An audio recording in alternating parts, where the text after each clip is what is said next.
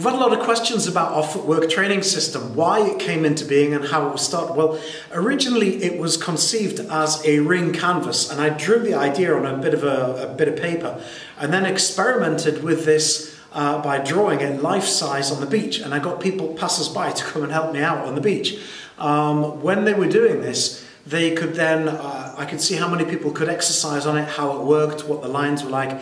And then it progressed to being on a piece of lino, a great big three sheets of lino that I got given from someone else. And I drew the lines out in pencil first, then in pen, and then painted them.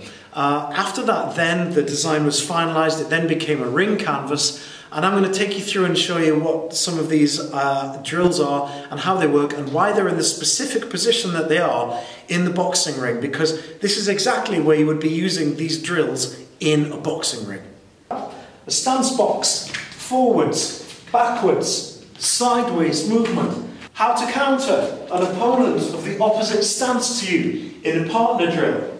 Something that eludes most boxers, cutting down the ring diagonally and putting your opponent in the corner. When you're in the corner yourself, how to escape from the corner.